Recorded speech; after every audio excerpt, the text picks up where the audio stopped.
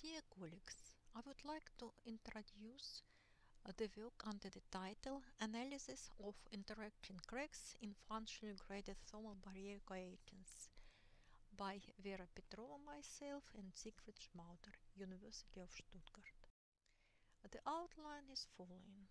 Motivation, problems for functionally graded coatings, formulation of the problem, solution, some results with respect to stress intensity factors and critical stresses, and summary will be presented. Motivation. Thermal barrier coatings are used in different engineering structures. One of, of such application is shown this slide in airplane in engines.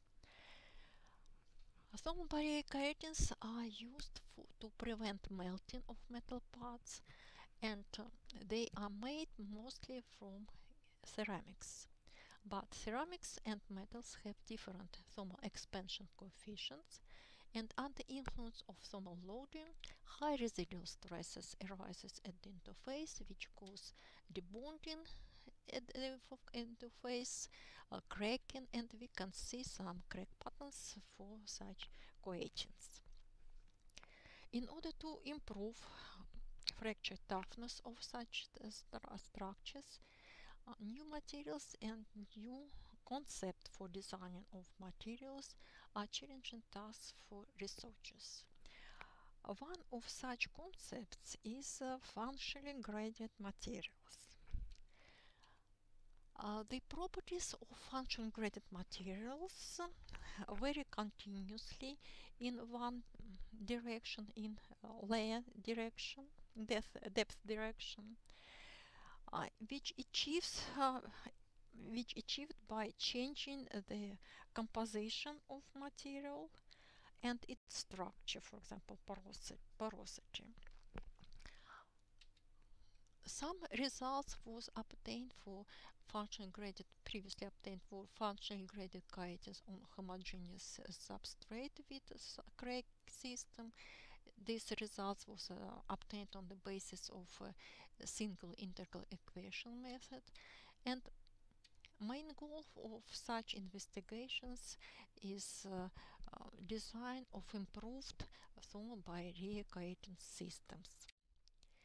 Here presented some main requirements for thermal barrier co coatings and it should be mentioned that at the high temperatures a thermally growth oxide layer forms as a result of the oxidation process so that it is important to consider thermal barrier coatings as a complex system consisting of a coating and underlying metal and some other layers between them. The mechanism of crack formations is shown on this slide and also effects of high temperature and thickness on the crack uh, patterns of the uh, thermal barrier coatings. We can see edge cracks and internal cracks. Formulation of the problem. Let us consider thermal barrier coating on a homogeneous substrate with a weak layer between them with pre-existing system of cracks. The position of cracks are obtained so explicitly by midpoint coordinate and inclination angles alpha or beta and uh, this uh, structure is load um, under thermomechanical loading cooling uh, on delta T and ten tension. For this in this problem some stress intensity factors will be obtained k1 and k2 in this case and um, super, superposition will be uh, used superposition principle. It means that uh, uh, far applied load is reduced to load on the crack faces. After calculation stress intensity factor factors using fracture criteria we can uh, obtain direction, uh, direction of crack propagation so-called fracture angles and critical stresses when this propagation is occur. We will use maximum hoop stress criterion. And it is important in this calculation to use uh, fracture toughness at crack tips. Models for function graded materials. We will use exponential model and non-homogeneity parameters of these models are introduced for um, thermal and mechanical properties. And also for fracture toughness will be used exponential model and additional uh, non-homogeneity parameter of the fracture toughness will be uh, used uh, gamma. Some results for the uh, calculated um, non-homogeneity parameters can be seen on this slide. Some material properties for function graded materials and corresponding inhomogeneity coefficients are presented in this table. Uh, these parameters will be used in parametric analysis of the uh, of the our problem.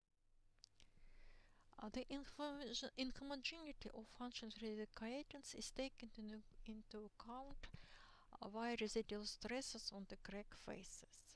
Using this assumption and the superposition principle, uh, the following loading conditions on the crack faces can be introduced. We will use the third case, more general case, in homogeneous uh, function graded K18. Solution of the problem. For solution will be used system of single integral equations. We have n cracks and n single integ integral equations with respect to unknown derivatives of displacement jumps on the crack faces. Right side it's known functions of loading uh, which was shown uh, which was shown on the previous slide. R and S are regular kernels containing the geometry of the problem. Single integral equations are solved numerically using the method uh, where um, unknown function presented as a regular function and multiplied by the weight functions which take, in, take into account singularity, square root singularity at crack tips. If we have edge crack, this one of uh, this uh, singularity is uh, um, removed and additional conditions should be taken into account in the calculation. So single integral equations are reduced the, to the system of algebraic equations. After calculation, the functions are calculated by the interpolation formula based on the Chebyshev polynomials. And then stress intensity factors will be obtained. Some example of uh, illustrative example for stress intensity factors as functions of inclination angles for different distances d, distances d between the edge cracks presented on this slide. Geometry is shown here. We have three edge cracks with same inclination angle beta which vary from 70 up to 90 degree and uh, some system of cracks and weak zone with fixed inclination angle equal to zero. Uh, stress um, intensity factors are calculated um, with taking into account non-homogeneity parameters of uh, thermal expansion coefficient and Young's modulus, which corresponds to uh, transition from uh, ceramic to metal in this structure. Non-dimensional stress intensity factors are calculated. What we have? A mixed mode stress strain conditions are revealed both K1 and K2 are non-zero. K1 for interacting cracks is less than the values for a single crack. The shielding effect is observed. We have we can see on all four figures here.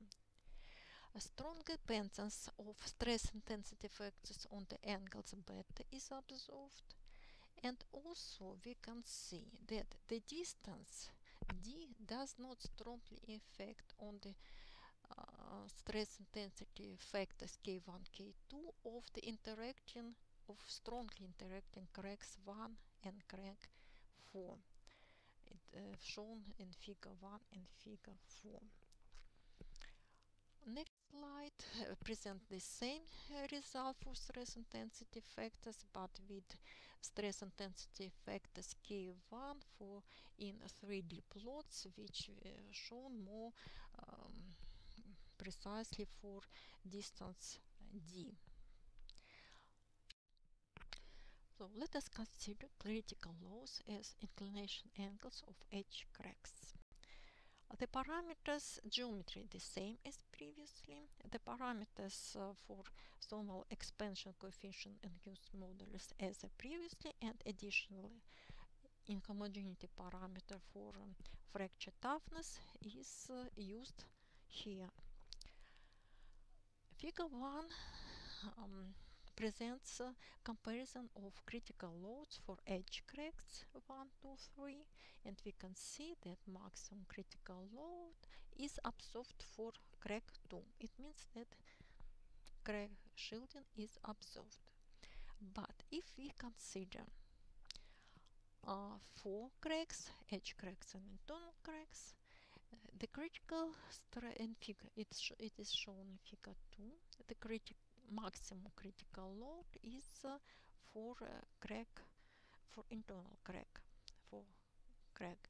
It means that fracture starts from edge cracks in particular for biggest crack 1 figure 5 presents artificial results without taking into account uh, variation of fracture toughness and in this case we see that maximum critical load is absorbed for crack 2 it means if we don't consider fracture variation of the fracture toughness in this layer uh, we got results that the fracture will starts from internal cracks.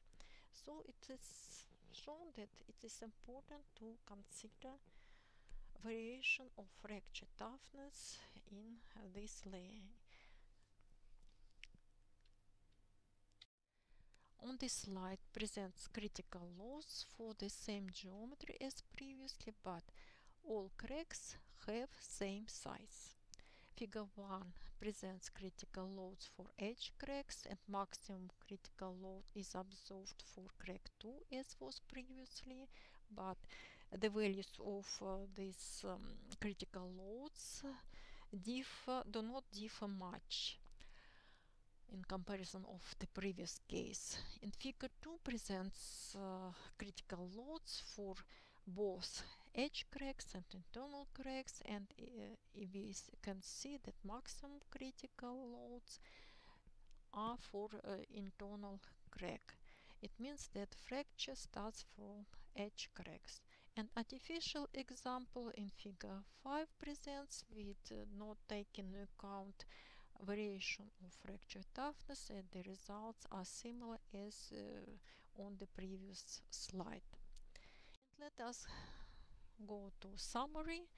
A general theoretical formulation of the problem for the thermal fracture analysis of functional graded coefficients on a homogeneous substrate has been performed by means of integral equations. The stress intensity factors are calculated and critical stresses are obtained using the fracture criterion of maximum hoop stresses. Some illustrative examples are presented an analysis of parameters with respect to critical loads shows that for a system of edge and internal cracks in a weak zone, fracture starts from edge cracks. It is important to consider the variation of the fracture toughness through the thickness of function gradient coefficients. Optimal crack configuration can be determined at which the critical loads are maximum and accordingly the crack failure will be reduced. Thank you for your attention.